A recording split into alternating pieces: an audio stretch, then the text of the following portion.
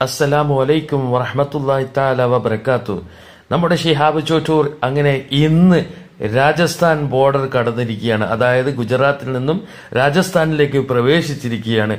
മുഗൾ ചക്രവർത്തിമാർ ഒരുപാട് കാലം ഭരിച്ചിരുന്ന ഒരു പ്രദേശമായതുകൊണ്ട് തന്നെ രാജസ്ഥാൻ എന്ന പേര് നിലനിൽക്കുന്നത് എന്നാണ് അറിയപ്പെടുന്നത്.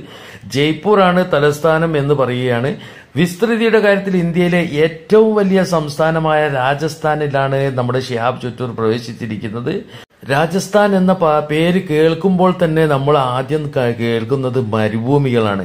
അതെ മരുഭൂമികളും കൊടും കാടുകളും ഒരുപോലെ ഉൾക്കൊള്ളുന്ന സവിശേഷമായ ഭൂപ്രകൃതിയുള്ള ഒരു സംസ്ഥാനമാണ് നമ്മുടെ രാജസ്ഥാൻ. ഗുജറാത്തിലെ പോലീസിന്റെ വളരെ വമ്പിച്ച സഹായത്തോടുകൂടി സേവനത്തോടുകൂടി അവർ ഇപ്പോൾ രാജസ്ഥാനിൽ പ്രവേശിച്ചിരിക്കുകയാണ്. ഇനിയും അങ്ങോട്ട് രാജസ്ഥാന്റെ പോലീസ് വളരെയധികം സപ്പോർട്ട് ചെയ്യുമെന്നുള്ള പ്രതീക്ഷയോടുകൂടി തന്നെയാണ്.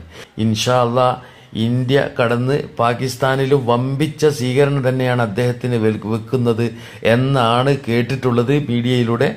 അപ്പോൾ ഏതായാലും ഷിഹാബിന്റെ യാത്ര അള്ളാഹു യാത്ര വളരെ സഫലമാക്കി കൊടുക്കട്ടെ എന്ന് ഈ അവസരത്തിൽ സന്തോഷത്തോടു കൂടി പ്രാർത്ഥിച്ചുകൊണ്ട് അമീൻ യാ റബ്ബൽ ആലമീൻ നിർത്തുകയാണ്.